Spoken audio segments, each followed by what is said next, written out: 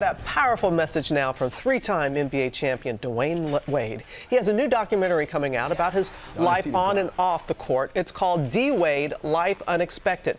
It offers a rare glimpse into his private life and the way he and his family how they are supporting their daughter Zaya, who recently came out as transgender. Dwyane is standing by. We're going to speak with him live in just a moment, but first take a look at their story. A lot of you guys see me as a superhero. NBA superstar Dwyane Wade is opening up like never before in the new ESPN documentary, D Wade Life Unexpected. The 38 year old revealing details about not only his professional life, but his family as well, raising his five children, including 12 year old daughter Zaya, who recently came out as transgender. Launch to LeBron, they've done it again.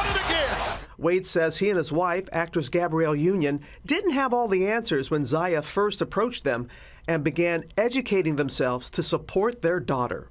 When I was a kid, I never knew if I was around someone who was gay, transgender. I never knew it. So when Zion came out to us, I had to, to get educated on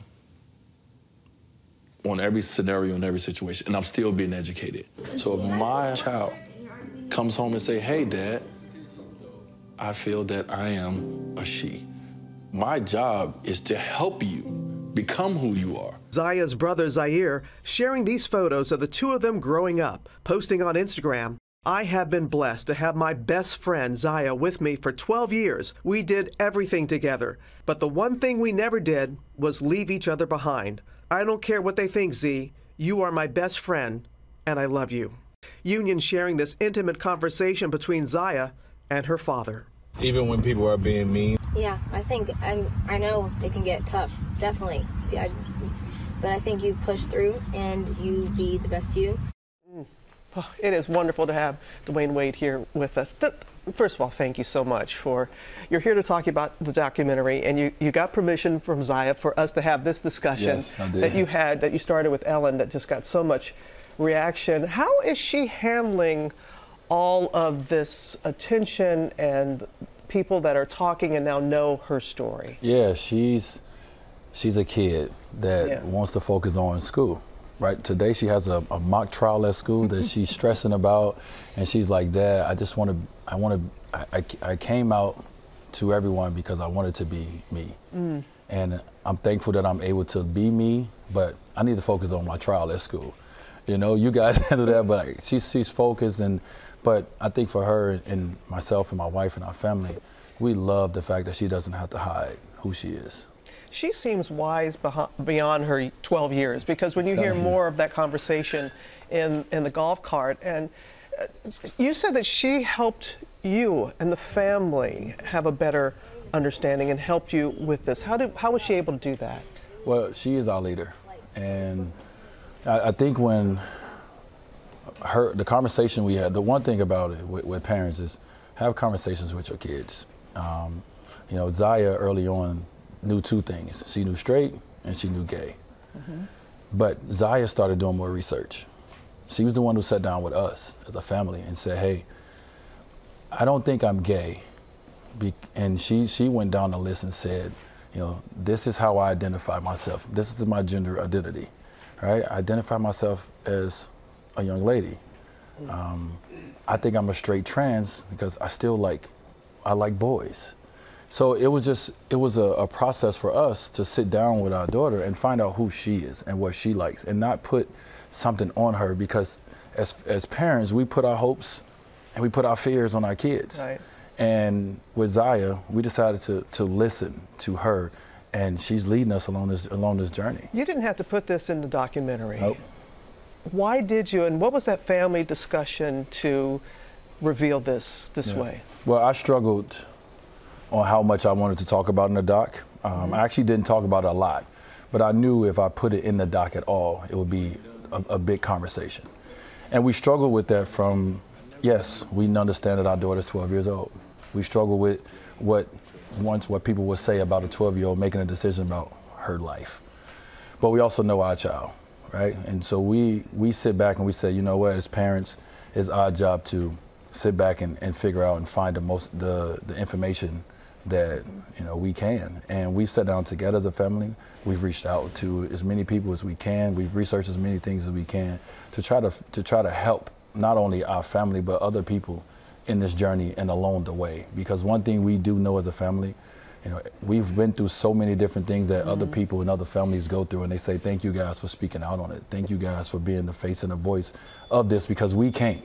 And that's what we're trying to do. We're tr- we know it's other families out there that's dealing with their, their kid, finding themselves and learning who they are. And what is your advice to a parent who is struggling to accept their child for, for any reason? Yeah, um, I mean, I'm, I'm not going to sit here and act like we have all the answers. Right. I'm not going to sit here and act like um, before our child came home and set us down that we was not ignorant parents when it comes to the world we're like when I say we're learning from our 12 year old, we're literally learning from our child. So the biggest thing is is have an open mind. Go out and research. Ask your child, ask other people questions about this because this conversation is real. Our 12 year old deals with this. Mm. This is her life every day. This is no game to us. We're, we're about protecting her heart. We're about protecting her joy.